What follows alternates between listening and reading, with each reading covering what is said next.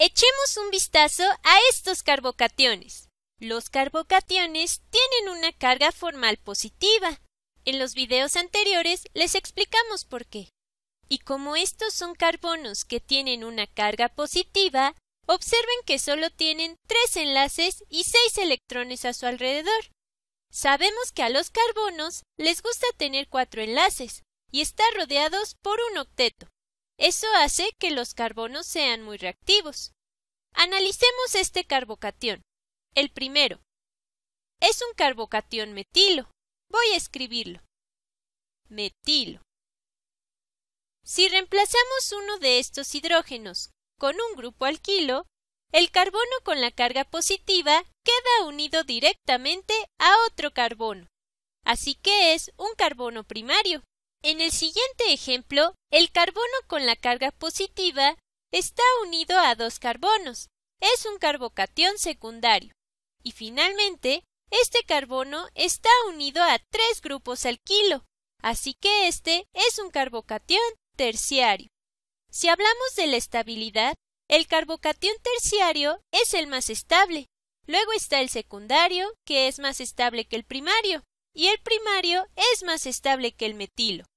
Como podemos ver, al incrementar el número de grupos alquilo, aumenta la estabilidad del carbocatión.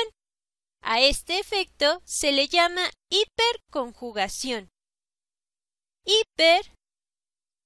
Hiperconjugación. La hiperconjugación explica cómo la estabilidad de un carbocatión aumenta con el número de grupos alquilo. Dibujaré algunos ejemplos para entender mejor este efecto. Empecemos con el carbocatión metilo. Es un carbono unido directamente a tres hidrógenos. Tres hidrógenos.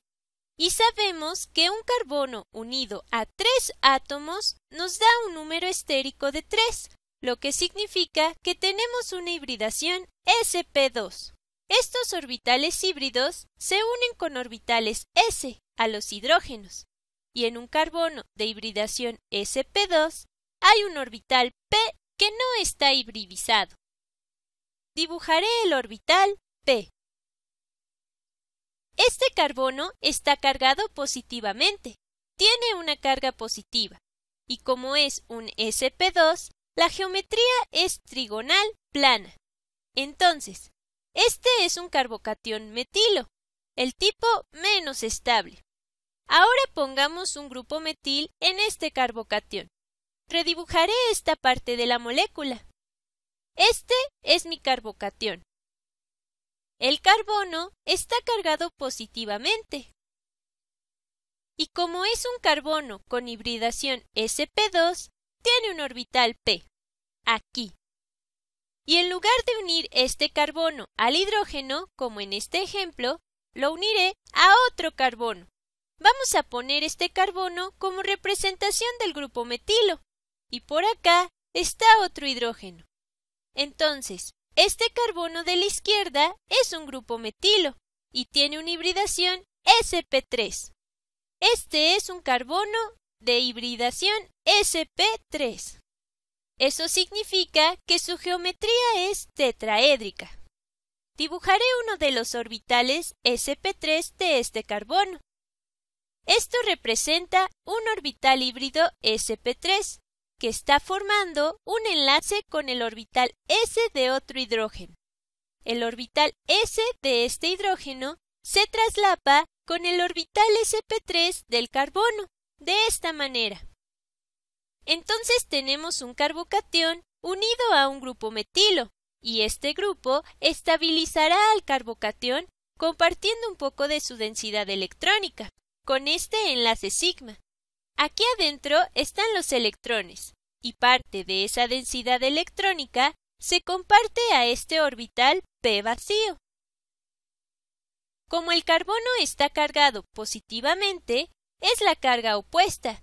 Esa densidad electrónica negativa ayudará a esta carga positiva para estabilizarse. Este es el efecto de hiperconjugación. Y tiene mucho sentido, porque entre más grupos alquilo tengamos, mayor densidad electrónica en los enlaces sigma se pueden compartir con el orbital molecular p, y por lo tanto, el carbocatión es más estable. Todo se trata de cargas opuestas. Los carbocationes son muy importantes porque se pueden rearreglar en los mecanismos. Lo escribiré. Rearreglos. Y el primero que vamos a hacer es la transposición de metilo. Transposición de metilo.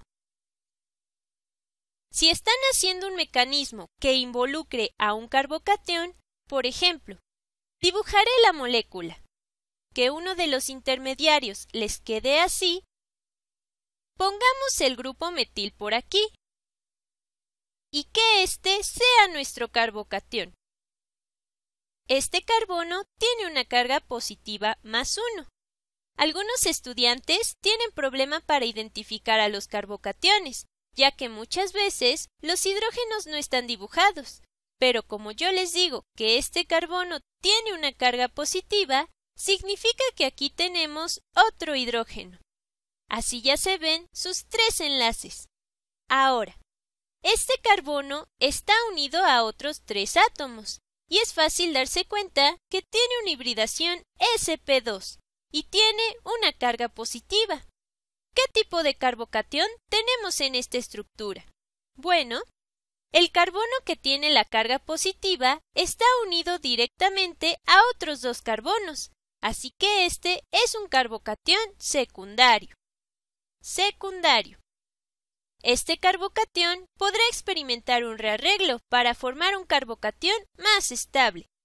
Esta será la transposición de metilo, en donde este grupo metilo migrará a este carbono, formando un enlace con el carbocatión. Dibujemos lo que pasará. Los electrones en este enlace, los del grupo metilo, se moverán hacia acá y crearán un enlace con este carbono. ¿Qué nos quedará? Bueno, si este grupo metilo migra a este carbono, los electrones quedan por acá estos son los electrones del grupo metilo que se ha cambiado de lugar. Y aquí todavía está el hidrógeno unido al carbono. Y por acá quedó el CH3. Esta fue la transposición de metilo. La pregunta es, ¿por qué el grupo metilo se movió hacia este lugar? Bueno, porque de esta manera se forma un carbocatión más estable. Ahora, este carbono de la izquierda solía tener cuatro enlaces, pero tomamos uno, y como ahora solo tiene tres enlaces, tiene una carga formal positiva. Así que nuestro carbocatión migró del carbono de la derecha al de la izquierda.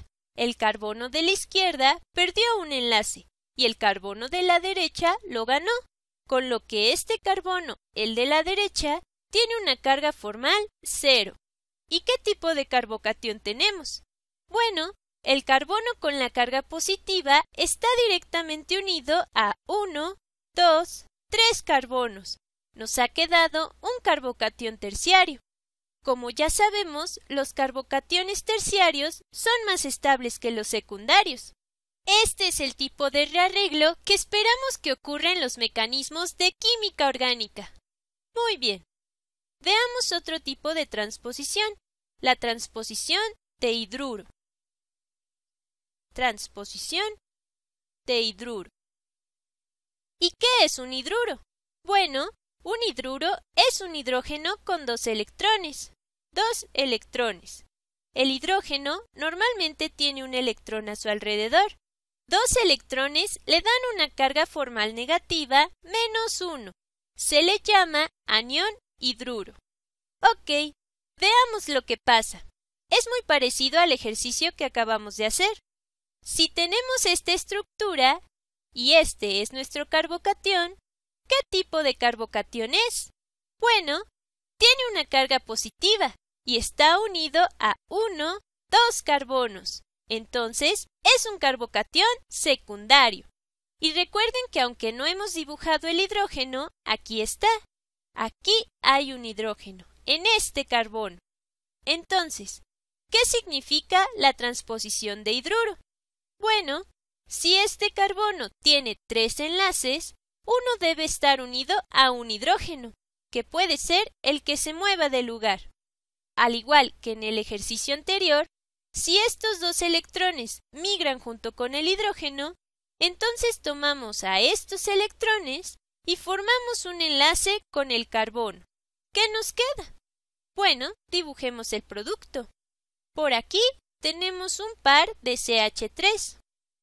Y estos electrones migran hacia este lado. Antes solo teníamos un hidrógeno unido a este carbono, así que el carbono de la derecha ha ganado un enlace. Muy bien. Eso quita la carga formal positiva y ahora es de cero, pero el carbono de la izquierda perdió un enlace. Solía tener cuatro enlaces y ahora solo tiene tres. Entonces se queda con una carga formal positiva más uno. Nuevamente clasifiquemos el carbocatión. Este carbono está unido a uno, dos, tres carbonos. Es un carbocatión terciario, que es más estable que un carbocatión secundario. La transposición de hidruro también es posible. Traten de buscar posibles transposiciones de metiluro o de hidruro en sus mecanismos siempre que puedan.